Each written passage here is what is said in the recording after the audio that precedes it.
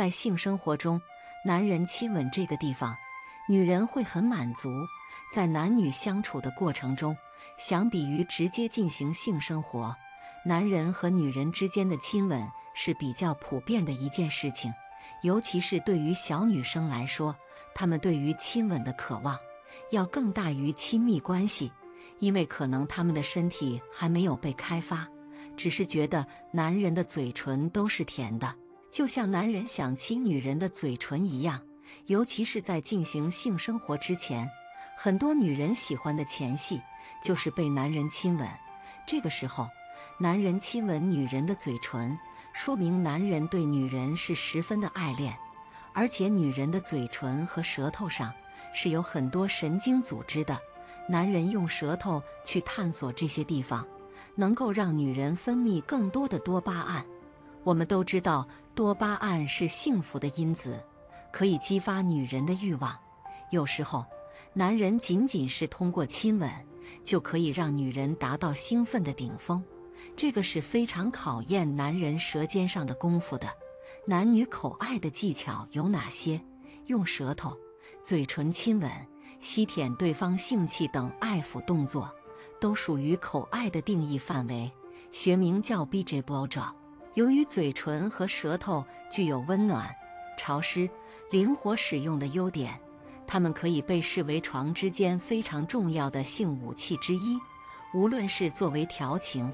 改变兴趣，还是因为女性生理期不方便，或任何其他私人原因不能做爱，你都可以通过口头交易获得性快乐。口头交易所带来的快乐不低于真正的腔性器官接触，甚至有不同的味道。男人如何为女人口爱？口爱技巧好的男性可以通过各种口爱技术和手指的爱抚。对女性阴部周围的强烈催情药物，这可以使女性在前戏中分泌非常强烈的性兴奋激素，甚至不做爱就达到兴奋的顶峰。男人不仅可以亲吻女人的下面，还可以用舌尖进出阴道，或者用鼻子在呼气和呼气之间反复摩擦来刺激阴部，甚至不干净的胡渣也可以成为刺激器的工具。口爱可以让女性很容易达到下面兴奋的顶峰，男性可以舔、擦、吹、吻，包含下面的关键敏感部位，但特别提醒：小心，动作温和，因为下面是非常脆弱和敏锐的皮肤，容易被戏弄和兴奋，当然也容易受伤。当然，适度的重力刺激也很容易让妹妹兴奋的良方。女性的阴道不生病的情况下相当干净，分泌物也相当干净，所以男性不用担心吞下这些分泌物会有什么后遗症。此外，对于艾叶分泌少、湿度不足的女性，口爱时的唾液可以弥补艾叶的不足，减少下面插入的困难。女人如何为男人口爱？如果女性能用手抚摸这些敏感部位，用嘴唇和舌头舔吮吸，男性就会达到最兴奋的兴奋的顶峰。男性下面一样敏感，所以女性在口爱时必须非常小心，注意不要让牙齿意外伤害。观察另一半的反应和感觉，调整力量，找到最舒适的方法。此时。如果男性达到兴奋的顶峰，蝌蚪会站起来投降；女性可以选择感觉男性即将射精，或者让男性在嘴里射精，然后呕吐或吞咽，这取决于个人接受。健康男性精液对人体无害。男女口爱怎么做？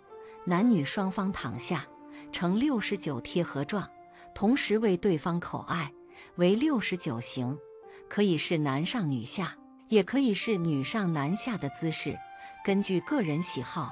有些人特别喜欢这种口头交付方式，认为服务和服务可以同时加倍快乐，这是相当令人兴奋的。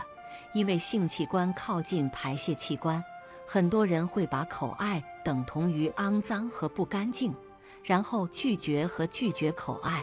事实上，如果我们能优先考虑取悦对方，口爱可以被视为因为爱而接受对方的一切的爱的隐喻。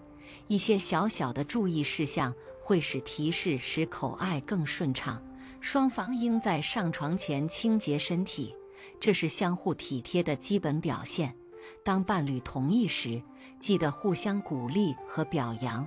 沟通和协调是最重要的，尊重彼此的需求和意愿。口头交流可以成为更好性生活的一部分。注意，特殊时期不口爱，有时候绝对不适合口爱。如果男女器官感染梅毒、淋病、疱疹、花椰菜、非淋菌性尿道炎等性病，或者有霉菌。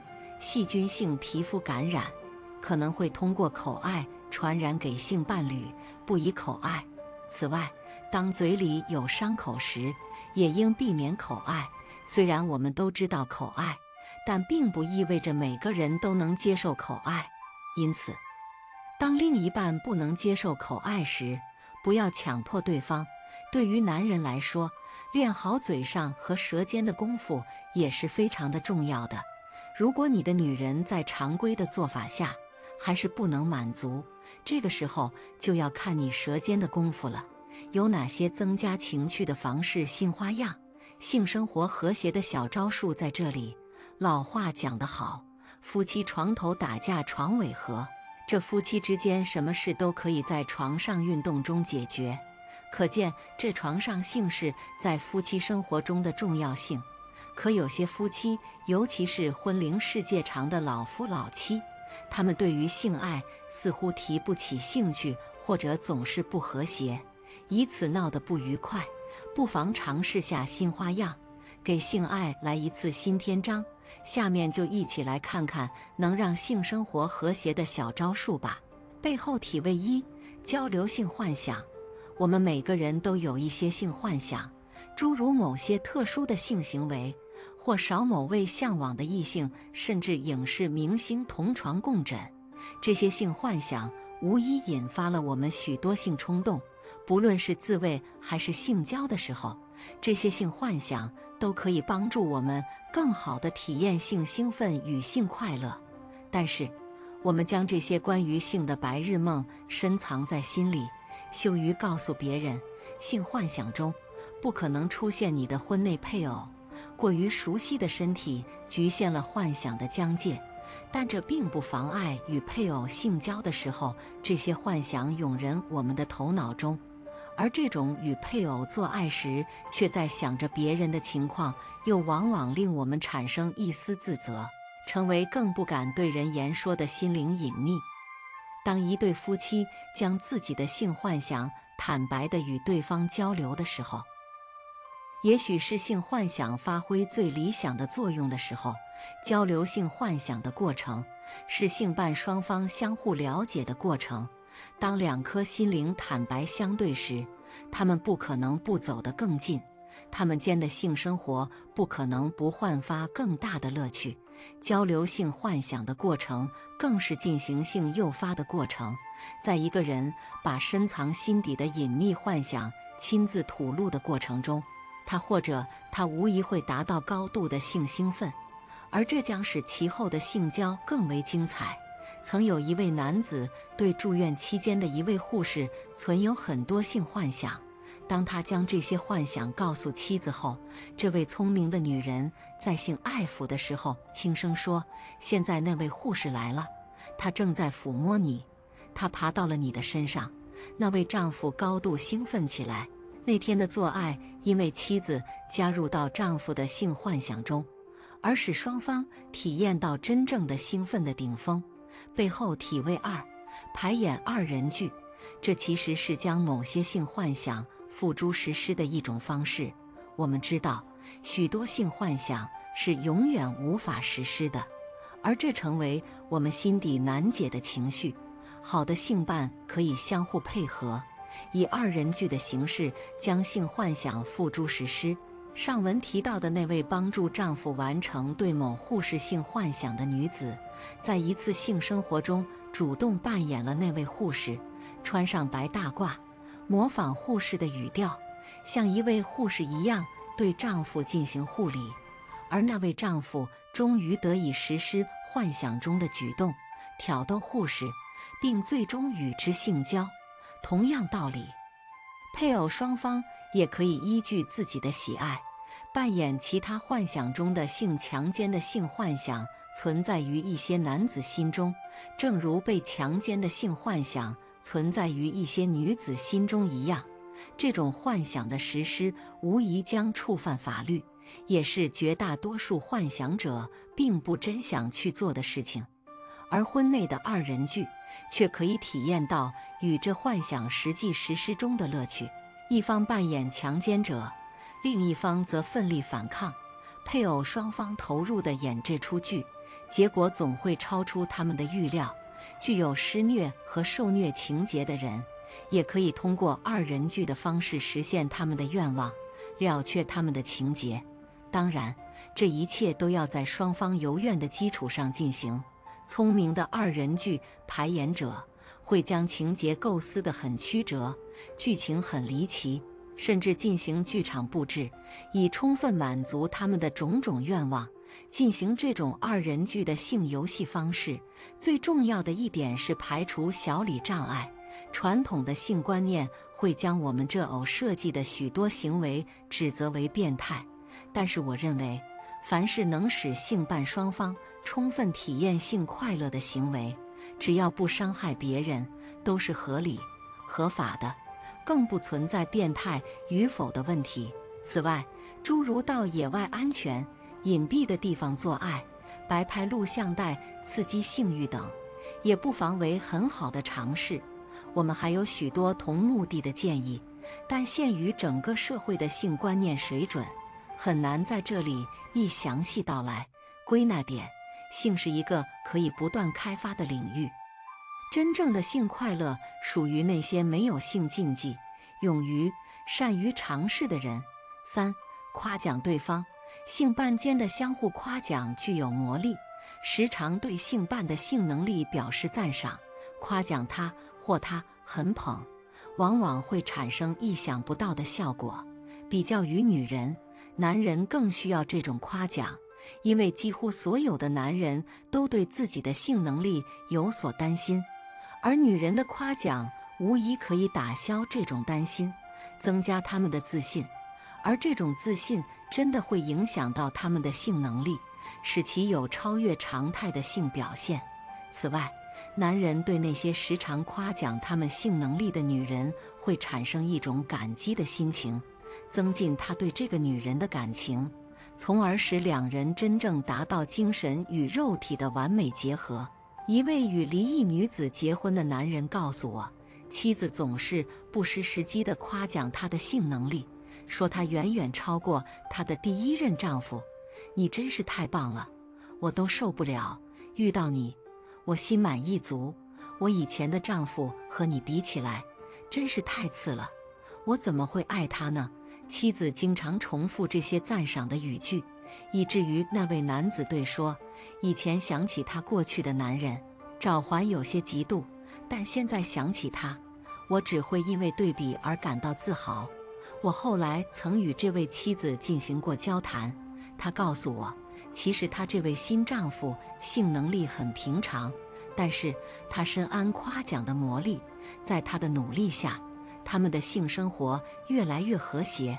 这个女人还知道，男人通常对自己性器的大小很关心，所以她在第一次与这位新丈夫进行性交时，时主动称赞他的性器真雄壮，夸奖应该做到恰到好处，不失时机。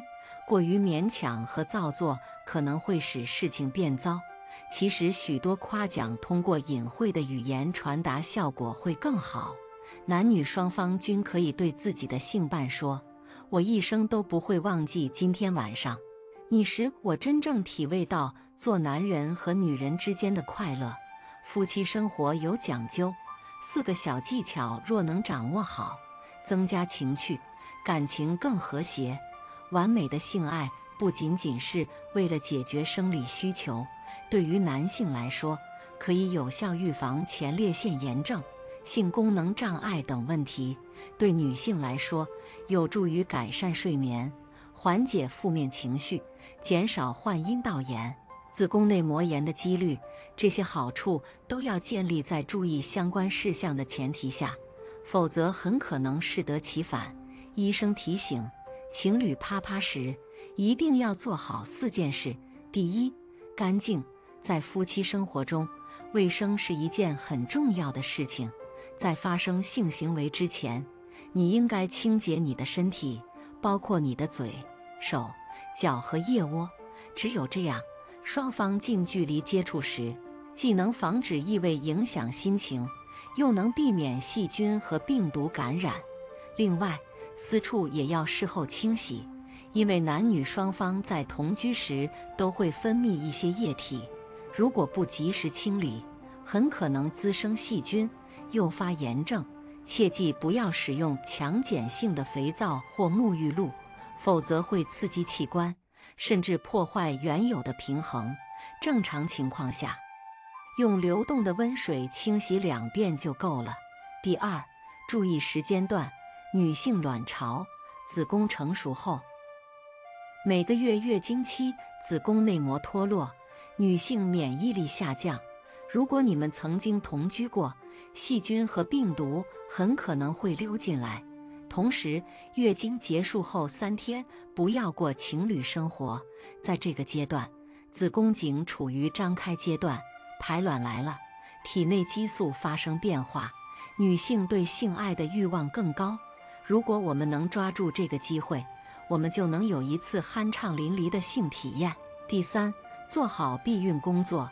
如果有生育计划，夫妻自然不需要采取避孕措施；但如果已经生育或者没有生育计划，就必须采取避孕措施。虽然避孕的方式很多，但是为了男女双方的健康，最好还是选择戴避孕套。这是因为这种方法避孕成功率高，能有效阻挡细菌和病毒。第四，不要随便接吻。